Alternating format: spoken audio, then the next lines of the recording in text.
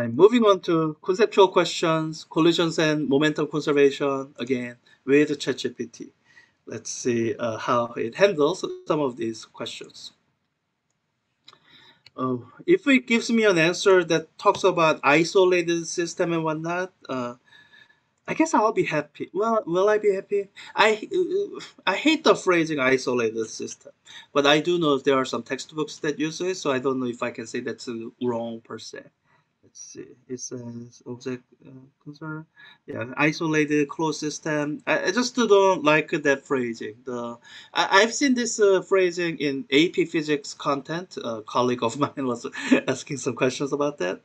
I just uh, hate it um, because really with the conservation of momentum, what matters is uh, one. Um, so let me do this. Uh, could you define closed system? The there is no consistent definition of closed system. Different authors will use different definitions for closed system, and um, so yeah, it says closed system is a, a physical system that it doesn't exchange matter with its surroundings. So if that's a, its a definition of closed system, then a closed system can have its uh, total momentum change. Uh, example of that would be, well, uh, let's say I have my cell phone here. Let me treat the cell phone as a system.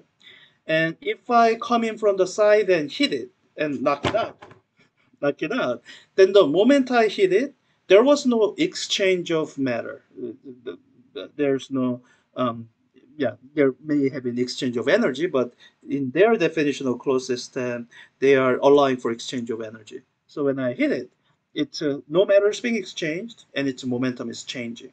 So um, it by the definition it itself uses the whole thing about closed the system conserving momentum uh, in this context, it's actually wrong because the definition of closed system that they are using in ChatGPT doesn't support uh, the assertion that in a closed system defined this way, momentum is conserved. So I, I think this is really why I hate the phrasing closed or open or isolated system. Uh, instead of what I would focus on is this. Um, what I would focus on is not close the system, but instead look at impulse. Remembering impulse, oops, I can't spell impulse. impulse, uh, which is defined as force times duration of time, impulse due to external forces. Because that's what causes momentum of a system to change. Any internal forces you don't have to worry about because of Newton's third law, the impulse due to internal forces always balance out within the system. It's when outside objects are exerting force and that outside force from outside objects, external forces, uh, impart impulse to the system. That's what causes the momentum to change. So, um, so that's what you should look at. The phrasing like a closed system. I, I've seen physics textbooks where they use it and they use it carefully enough to use it correctly. But because I've seen so many examples of it being used incorrectly, uh, I would my advice to you is don't use the phrasing closed or isolated system in physics context. Uh, mostly because it's uh, poorly defined. It's not consistently defined from one physicist to another physicist. It's a contrast to chemistry. I think in chemistry they use these terms uh, enough that they use consistent definition, but in physics, not really. Um, instead, uh, go at the actual description of what leads to conservation of uh, energy, momentum, or whatever. So, okay, so I'm gonna grade this as being wrong. uh, although is the example right? Uh, meaning that some of the the two that they are moving in opposite momentum zero. Um, yeah, but um. Oh wait, wait, wait. Yeah, um, the part portion I was criticizing doesn't have anything to do with the total momentum of the system being zero. Now for the example, um,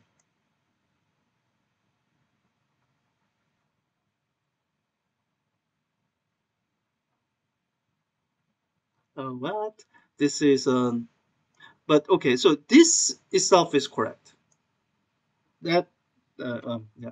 If two objects in a system are moving in opposite directions with the same momentum, then yes, total momentum is zero and individual parts have momentum. I guess that's what the question is about. All right. Um, so the next question it says, um, describe a yeah, let me copy that. Um, so so this question I would still grade it as incorrect because it's a ChatGPT. One, it did have correct part, but it said so many other things that were wrong and irrelevant. So on the whole, it's wrong. I mean, and you know, it's uh, because I, I don't have to be nice to ChatGPT. Um, because you know when someone's uh, kind of accidentally hits the correct answer by just uh, throwing everything at the wall and see what sticks the whatever correct portion they get it doesn't show any understanding um, and you know ChatGPT doesn't have any understanding of anything okay so describe an example of a system momentum is conserved but mechanical okay um, any inelastic collision would work um, Ah, and kinetic well, momentum is not. Here you have to be, um, I think thinking of an example here is a little bit harder. Um, yeah, yeah, but uh, let's see.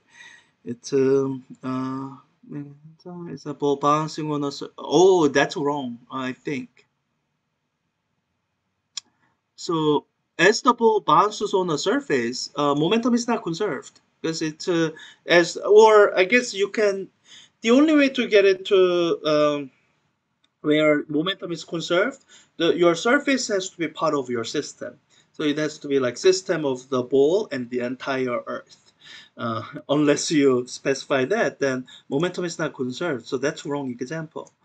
Um, uh, you can basically use any other simple collision, inelastic or completely inelastic collision between two objects and involving no other big things. Um, example momentum is now would be yeah, uh, you know? I think I remember reading this as some one of the student answers. Uh, this is wrong also, because in this kind of elastic collision, momentum would be conserved, so it doesn't satisfy the criteria. In fact, um, this example, if they made the bouncing completely elastic, then if this would satisfy the, the requirement for the second example. Energy would be conserved, but each time it bounces, as long as you're looking at the ball as a system, it's not conserving momentum. So, so yeah, that's wrong. It's uh, um, yeah, it's wrong. And let's see, example, uh, heavy ball to the collision. Uh, yeah, you don't know that unless, unless without knowing the mass of the small ball. Like the if the small ball has mass of what five kilograms, I think it might work out to be that. But this is ChatGPT hallucinating, um, or you know it's working from in incomplete training text, or it doesn't know what details actually matter because it doesn't actually know anything. So, all right is it possible for the, uh, let me put that in. Um, answers, I think yes. Um, yeah. when this happens, uh, the, yeah, uh, yeah. Okay, so yes, it is possible. To by the momentum, yeah, conservation momentum. Yeah. Greater than the exhaust velocity. Is that uh, yeah. Uh, that's kind of missing the subtle point. Let me get back to that even though uh, so there's a skip step that is skipped like here because it somehow get got to velocity of the gases is in the same direction as that of the rocket probably from the question.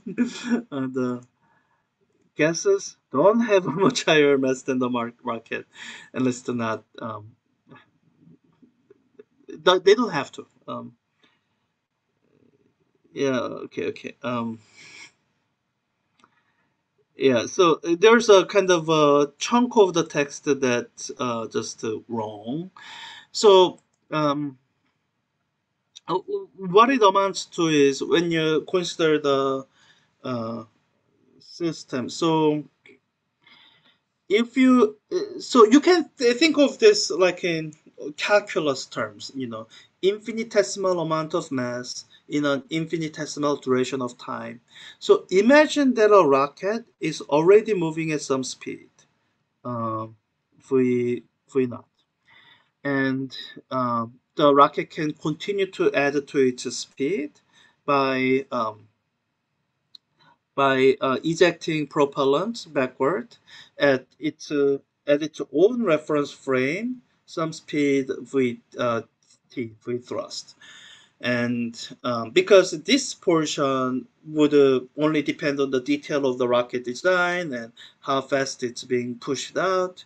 Um, in um, throughout its uh, kind of acceleration process, uh, from starting from rest to some final speed you can imagine this staying constant, which means, um, so if you, which means as the rocket accelerates, um, so uh, let me just plot it out for a kind of visualization.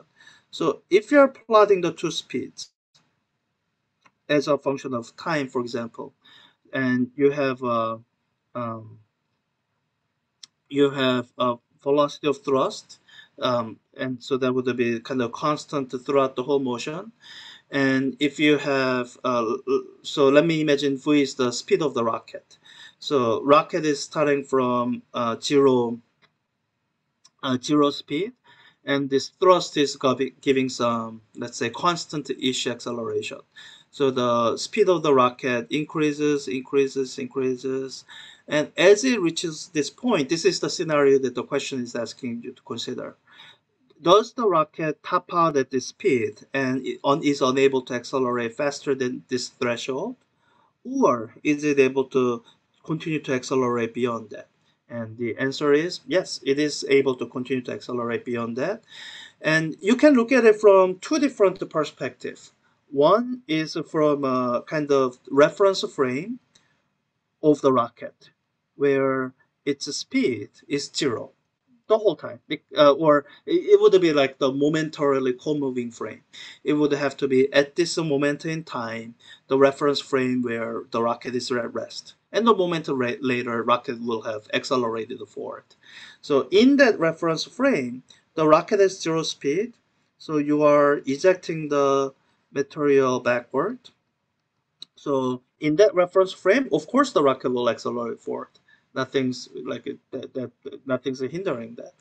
And if that kind of interaction happens fine in rocket's inertial frame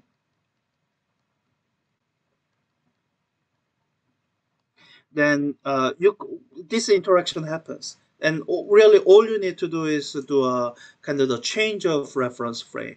The reference frame in which the rocket is moving with the speed of v naught then in that reference frame, when you do the shift of reference frame, what you would get is, okay, so the rocket is moving for the speed of v naught, and you have to do a velocity transformation to this. And when you are done doing the velocity transformation, what that will end up being is at this exact threshold, the uh, fuel, they will be at v is equal to zero in the reference frame of the outside observer and uh, this is perfectly fine. So what it is is the this fuel, um, the exhaust um, and the rocket, they had some overall momentum. And whenever this exhaust system is being left behind at a speed lower than this, the remaining parts has to have greater momentum going in this direction. So this velocity of the remaining part will increase. And that picture is valid even when this portion is slightly moving to the right. As long as, however fast this is moving is a little bit less than this, the remaining part can gain momentum from whatever this is losing uh, with the, you know this direction being positive. So so that's the explanation, not what ChatGPT was claiming it is. Um, so so it was wrong. it was wrong in its explanations.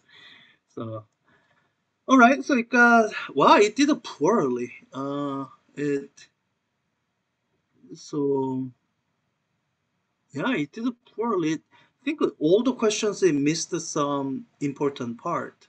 So all right, uh, that's good to know. Um, uh, you know, so you know, I'm interested in how much ChatGPT improves.